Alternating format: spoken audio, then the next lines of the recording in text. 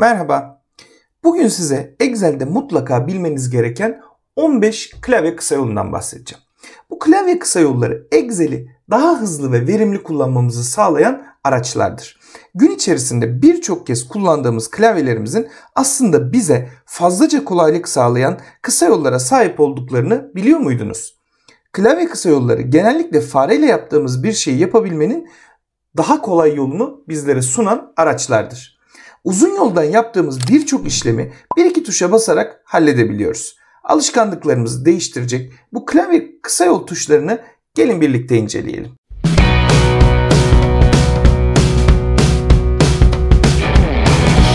İlk olarak göstermek istediğim klavye kısa yol tuşu CTRL Shift ve L kısa yol tuşu. CTRL Shift ve L'ye basarsanız verilerinize gördüğünüz gibi hızlı bir şekilde filtre eklemiş olursunuz. Aynı şekilde CTRL Shift ve L'ye tekrar basarsanız eklemiş olduğunuz filtreleri kaldırırsınız.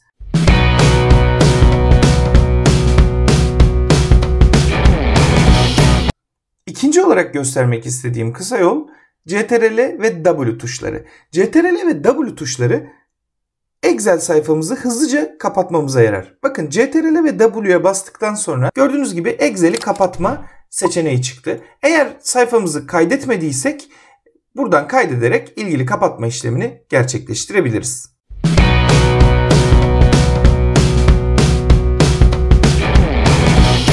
Üçüncü olarak göstermek istediğim kısa yol tuşu CTRL ve End tuşları. Mevcut veri dizinimizin en sağ alt noktasına gitmemize yarayan kısa yol tuşudur. CTRL ve End tuşlarına birlikte basarak gördüğünüz gibi içerisinde veri olan veri dizinimizin en sağ alt noktasına gidebiliyoruz.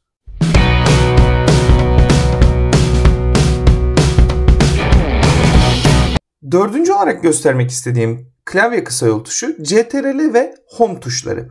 CTRL ve Home tuşlarına basarak içerisinde veri dizinimizin yer aldığı verilerimizin en sol üst noktasına hızlıca gidebiliyoruz. CTRL ve Home tuşuna basıyorum.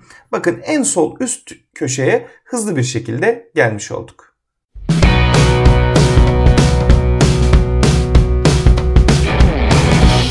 Sizlere 5. olarak göstermek istediğim kısa yol tuşu CTRL Shift ve End tuşları.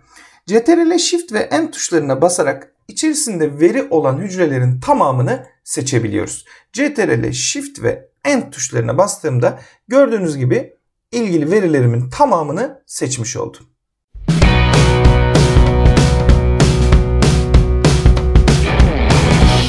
Sizlere 6. olarak göstermek istediğim klavye kısa yol tuşum Shift ve F2 tuşları.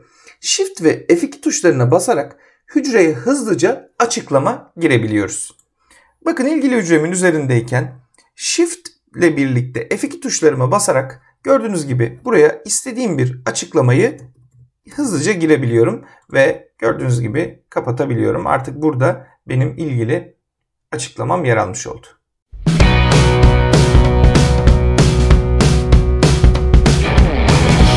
Sizlere yedinci olarak göstermek istediğim kısa yol tuşum CTRL artı L ya da CTRL artı T kısa yol tuşları. Bazı klavyelerde L, bazı klavyelerde T ile birlikte çalışan bu kısa yolumuzla verilerimizi tablo formatına hızlıca çevirebiliyoruz. Bakın herhangi bir verinin içerisindeyken CTRL ile birlikte L'ye basıyorum ve gördüğünüz gibi tablo oluştur iletişim kutusu açıldı. Buradan tamama basarak verilerimin tamamını hızlıca tablo formatına çevirebiliyorum.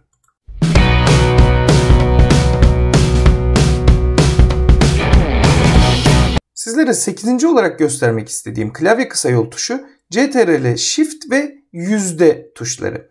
Bu kısa yol tuşlarımız hücreyi yüzdelik formata çevirmemize yarar.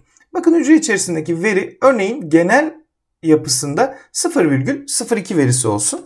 CTRL Shift ve yüzde tuşlarına birlikte bastığımda virgülden sonraki kısmı olmayan yüzdelik bir veriye çevirmiş oldum. Bakın artık burada buradan da görebiliyoruz. Yüzde oranı olacak şekilde hücremin biçimini değiştirmiş oldum. Buradan gelip bakın virgülden sonraki kısmını da hızlıca ayarlayabiliyorum.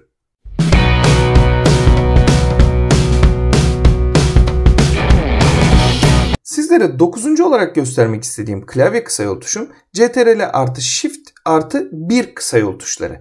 Bu kısa yol tuşlarıyla hücremin içerisindeki veriyi sayı formatına çevirebiliyorum. Bakın 15485 verisini CTRL Shift ve 1 tuşuna basarak 15485 olacak şekilde sayı formatına çevirmiş oldum. Virgülden sonra da iki basamaklı haneye gelecek şekilde ayarlanmış oldu. Bakın burada dikkat etmemiz gereken en önemli şey CTRL Shift ve klavyenizin üstündeki yan yana olan sayılardan bir tuşuna basmanız. Nümerik klavyedeki 1'e basarsanız ilgili klavye kısa yol tuşu çalışmayacaktır.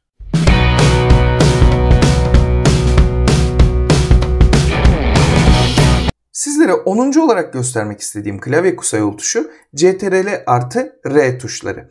Soldaki hücrenizi kopyalayıp mevcut hücreye yapıştırmanıza yarayan kısa yol tuşudur. Bakın buraya geliyorum. CTRL ve R tuşlarına basıyorum. Bir yan hücredeki gördüğünüz gibi veriyi kopyalayıp buraya hızlıca yapıştırmama yarıyor. Aynı şekilde buraya gelip CTRL ve R'ye bastıktan sonra gördüğünüz gibi ilgili verilerimi buraya kopyalamama yaramış oldu.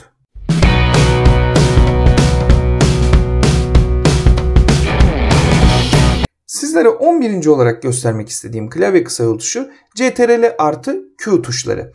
Bu iki tuşa birlikte bastığınızda hızlı çözümleme iletişim kutusunu hızlı bir şekilde açmış oluyorsunuz. Bakın herhangi bir hücremdeyken CTRL ve Q tuşlarına basarak verilerimin tamamını seçmiş oldum ve aynı zamanda gördüğünüz gibi hızlı çözümleme aracını buradan açmış oldum. Gördüğünüz gibi buraya bir veri çubuğu eklemiş oldum.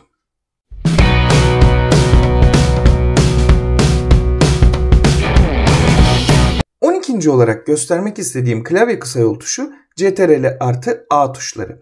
Tüm sayfayı seçmemize yarayan kısa yol tuşudur. İçerisinde boş bir hücredeyken CTRL ve A tuşlarına basarsam bütün çalışma sayfasını seçmiş olurum. Fakat içerisinde veri olan bir hücreyi seçip CTRL ve A tuşuna basarsam yalnızca içerisinde veri olan veri dizinimin tamamını seçer ve bana ilgili işlemi gerçekleştirir. Gördüğünüz gibi boş bir hücredeyken CTRL A'ya basarsam sayfamın tümünü, içerisinde veri olan bir hücremdeyken CTRL A'ya basarsam da içerisinde veri olan hücrelerimin tamamını seçmiş olurum.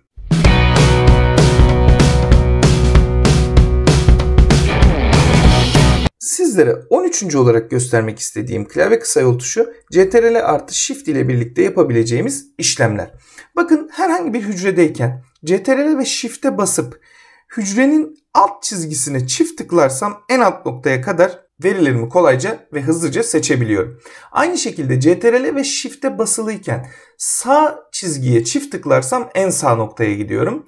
Sol çizgiye çift tıklarsam en sol noktaya gidiyorum. Peki verilerim seçiliyken başlangıç noktama nasıl dönebiliyorum? CTRL ile birlikte backspace yani silme tuşlarına basarak da başlangıç noktama geri dönebiliyorum. Bakın CTRL ile birlikte shift'e basıp üst çizgiye de tıklarsam eğer gördüğünüz gibi en üst noktaya gelmiş oluyorum. Burada önemli olan nokta CTRL ve shift basılıyken alt çizgiye çift, sağ çizgiye çift, üst çizgiye çift ve sol çizgiye çift tıklıyor olmamızdır.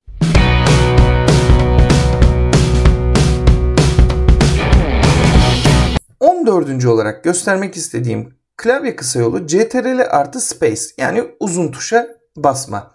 Sütunun tamamını seçmiş oluyorum böylelikle. Bakın CTRL ile birlikte space tuşuna yani uzun tuşa birlikte basarsam seçili olan hücremin yer aldığı bütün sütunu komple seçmiş oluyorum.